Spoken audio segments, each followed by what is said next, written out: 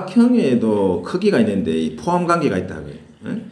제일 작은 개념의 사각형이 정사각형이고 정사각형은 이 표에서 보듯이 마른 모에도 들어가고 직사각형에도 들어가.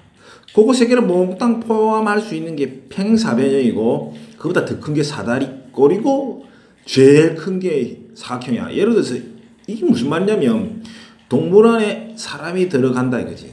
사람도 들어가고 포유류도 들어가고 그래서 큰 개념들을 말하지 포함 관계. 이게 뭐 말을 이렇게 하지 말고 문제를 풀어보자. 바깥에는 이렇게 어, 비가 오는데 잘 안 보이지 화면상으로는.